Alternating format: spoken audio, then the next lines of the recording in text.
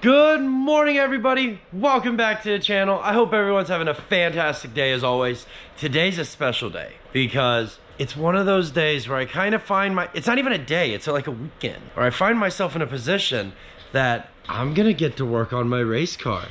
I don't got parts. They're on order. They're still in the mail, you know. Next Christmas ground. I got parts on its way for this guy. We've got a thermostat and a water pump and a snub mount coming for it. Actually, that's a lie. This, we're gonna modify the B6's front snub to take a B5 one. You can't do that until we take off like the entire front end of the car. So, so essentially what you do is you take this and you take the factory one off and then you go hoot there, hoot there, smooth it out and a B5 one fits right up in there. So.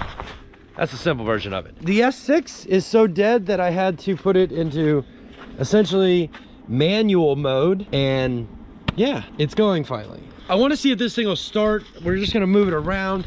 I got to know what it's doing and what it's thinking before I can really get into it. I know what everyone is saying. It might have a blown head gasket, but if I can drive it around and feel it shifting funky, all right, then we've got something to work on. If I just take the thing apart and don't know if it runs, drives, and just go right after a head gasket, yeah, that's not a good idea. Like, it just won't play out well. So we got to get it to start and see what's what before we can do anything else. This thing right here, we've made some phone calls. I got to send an email to Precision Machine Shop in Jeffco, Missouri, and they're going to tell me whether or not this engine, if the crank is, uh, oh, hold on, I'll show you. They're going to tell me if this bit right here is uh, toast ghost to the point where that it when that bearing took a poo, it chewed up the entire crank or not. Uh, then there's this thing. The Volkswagen Jetta TDI. Short answer this one, it's supply and demand. And the supply is limited and I'm pretty sure the demand is getting higher and higher because of engineered problem. Um, yeah, we're waiting on fuel injectors for this guy. Tools are in, which we get to unbox today because I haven't unboxed them and I got them like a week ago. All right, what happened here? Okay, so now it says it's got enough power that it's there. It recognizes it. So let's go with the... Let's start with a little rapid action. Ooh, see what this does. It might need a new battery. How old is this battery? I mean, 2016. Okay, so yeah, we're gonna slow this thing down. Stop. Battery life, shelf life, most batteries, people say it's like around five years. I have personally had a battery that's eight years old. Um, worked fine, kept working fine. Batteries are just another one of those things you gotta maintain and take care of. Learn about batteries. Anyway, uh, the shop is a full freaking blown disaster. My mom would say right now, it looks like Hurricane Katrina hit this place. So we're gonna do some cleaning. Gotta split some more firewood and yeah, let's get to it, to it. Let's get to, yeah. So what do we got in the boxes? Uh, this one right here is from Amazon. All right. Nice. So this is supposed to, yeah, fuel injector compatible with Audi new. So this kit right here is essentially the upgrade of this kit. This kit is like the baby version. The one we need is the big boy version, which has these right here. This stuff right here is all the big boy stuff. Um, basically this bit right here screws onto the fuel injector and then slides onto the end of a slide hammer, screws onto the end of a slide hammer, and boom, you can pop the injectors right out. Here's the difference in cost. This one was about $90. It was it was like 89, 90 something, and then I got $6 Amazon off of it, so it was like just a little over 80. This kit was like 40 bucks and you can instantly there's a difference. So it looks like you still get all of these. We're still getting all of these bits. We got this we got that that we got these we got that thing that thing. We got all these little bits here and here. We got the cleaning brush. This is for the older um, older injectors. I believe this one is the um, I want to say Mark 3, Mark 4 TDIs. That's what this injector puller is for. It actually clips on a piece of the bottom and then you push this thing off and you go wham and it comes right out. Um, this is the direct injector on like those engines over there. A lot of direct injected gasoline Audis and Volkswagens and whatever else you yeah, that's made by Volkswagen. Um, and then this bit right here is just for the diesel. And this right here is the biggest thing that was missing. Uh, you can buy just this if you wanted to. Uh, from like ECS or I think FCP Euro has a couple. There's also a couple different companies online and the price point ranges from $64 plus shipping all the way past $400. Not even kidding. It's ridiculous. The market's ridiculous. But I seen this kit on Amazon and I was like, you know what? I've already got it this way. I'd rather spend 90, like 80 bucks on it this way and have all, and have this extra as well than like here spend 60 plus shipping which is still 80 and only get the slide hammer and these couple bits like it wasn't practical. Sorry, this piece right here is like 45 to like, I think it was like 200-ish dollars, depending on how you, like what quality, who you bought it from, yada yada, so on and so forth. Like, it's all of those things. So, since I had really good luck with this kit, I was like, you know what? Made by the same people, let's give it a go, and it's got the bits that I need in it. So, uh, this is what we're gonna use to take apart Dom's TDI as soon as his injectors get here, whenever they get here. All right, guys. Well, it is day two. That whole eight point something milliseconds difference of day one and day two. Mikey stopped by today. Yeah. and uh, I find myself in a position to actually be able to work on my race car today. So I'm not gonna really hold the camera. I'm just gonna do what I need to get done to do. Juan a while back cut all these panels for me here and that's my goal. I want to see if I can get this all mocked up, tacked in, and then we'll go about we'll go about the whole stitch welding it and seam sealing it. So maybe we'll sand it and throw some paint on it. Adventurous, we decide to get. So let's get to it.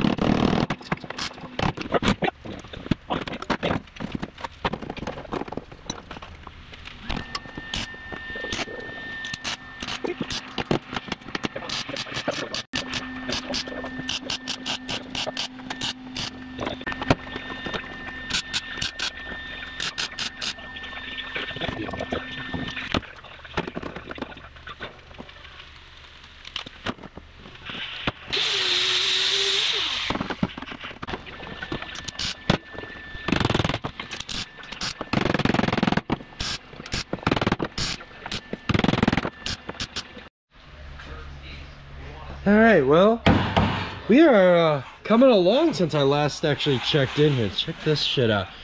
So I kind of like pounded this edge over here. Figured more the merrier, all the tack welds, all the tack welds. So my thought process here is, is I'm just gonna tack this all in, throw seam sealer, throw like body sealant like you'd find in a normal car, all over all of this because none of it's structural. Like it's literally here. It's literally here just to direct fire in the event that there's fire. Like the only reason all this is here is to separate the fuel tank and the back half of the car from the inside of the car. I don't need it otherwise. So uh, that said, I figure I can just run some seam sealer down all this and then we'll throw some paint on it, put a little foil tape on it if we have any gaps we missed. I mean, I don't know about you guys, but I've walked around a lot of drift pits and that's what I see a lot of. Mikey left. He just decided, oh, he's outie. And uh, this guy shows up instead to do transmission things. Oh, you're putting fog lights in? Did you rob them off the other car? Figures. We're not gonna need them for that. You don't need fog lights to drift. Uh, I mean, this is a good point. You do not need fog lights to drift, but you do need undercarriage LEDs. Yes. Like, dude, Trying to, I'm trying to get this out so I can put that one in because, yeah, because this housing has a mounting bracket or it's got a clip broke off. So I'm just gonna take this and put it in here. no, I see, I see, I see, my uh, Waste some, son. t- waste some time. Dude, let this that thing cool melted. Yeah, I know. Back in the day, you could get those like Sylvania high intensity light bulbs, and they essentially drawed more power on the electrical system, which also made a lot more heat. And they would like melt headlight housings and stuff, but yeah, that's Yeah, it's They look just like that. It's gnarly. that's wild. Woo, that was my finger.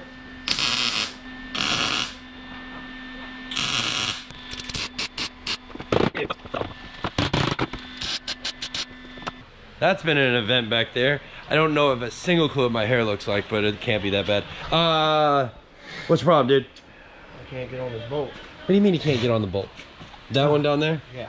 All right, so are you tapping out and saying you can't do it? No, Or I'm not tapping out. I mean, I had it on there once, but I couldn't get the ratchet on there. what is it? Is it an Allen or is it a 10 mil? What are we looking at? No, it's that. It's the 10 mil. It's a 10 mil?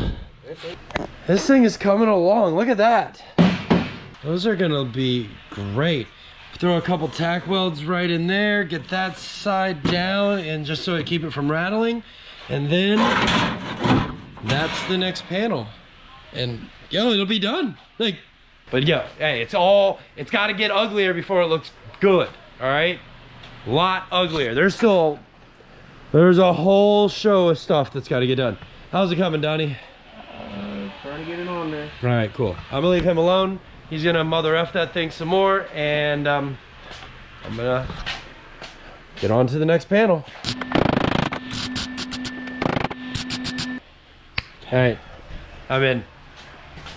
Let's see what you got. So, you got the O-ring in, you say? Line in? No, I got. I can't, I'm trying to get the line in. and It doesn't want to go in. Oh, okay, okay. I'm not trying to rip the O-ring because then I'm back to square one. Yeah, that's fair enough. Fair enough. All right, let's, uh, we can get this. This is easy. Oh, dude. Where's the litter? Hey! It's over there. I'll just go with you. It's over there in the corner. It's behind the bench I know I made grinder. Really?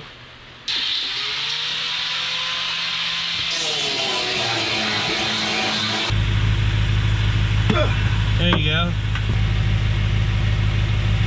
All right, well, obviously he successfully got his transmission cooler line in, but we got this is like finito. I mean, I'm honestly kind of happy with how this turned out. It's a lot of tack welds, probably something in the neighborhood of a, how many things in there, Donnie? 273. 273. Wow. That's a very specific number. I'm now kind of wanting to count them. not really. I'm not gonna sit here and count them by no means. Um, what wasn't structural is definitely now structural. Like this is uh, this is not gonna come out very easily. But all we gotta do now is put this little bit, put that piece right in there, throw some rivets through the corners of it, and yo, that's gonna look perfect. Absolutely perfect. It's starting to look like a race car almost from this angle. That'd be pretty cool. That would be pretty cool. Man, oh, speaking of fighter jets, bro. I just found out last night that you guys, you can buy a Harrier. Oh, yeah, yeah. see? Yeah. Like, down. Down. it's always, it's like $7.4 million and you can own a Harrier.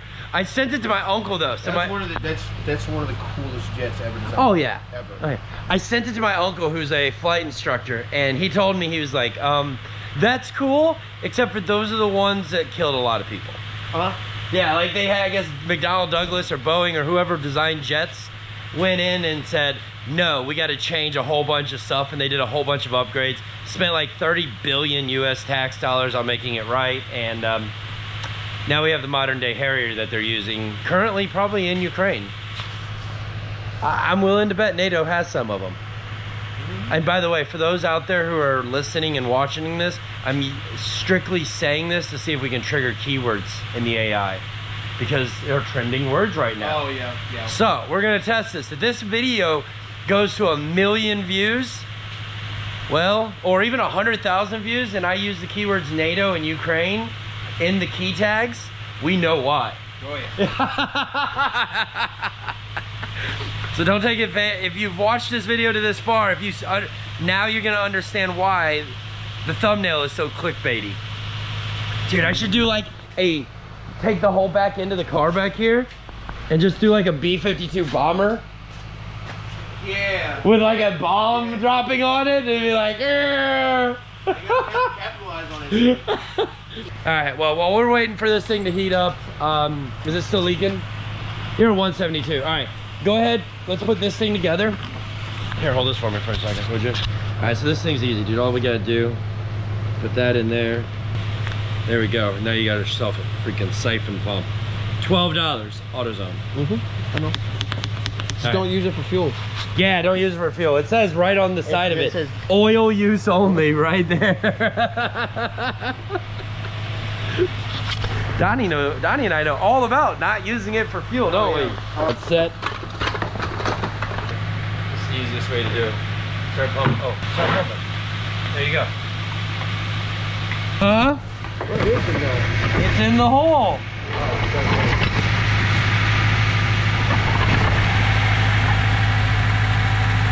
Ouch! That motherfucker is hot! Eventually.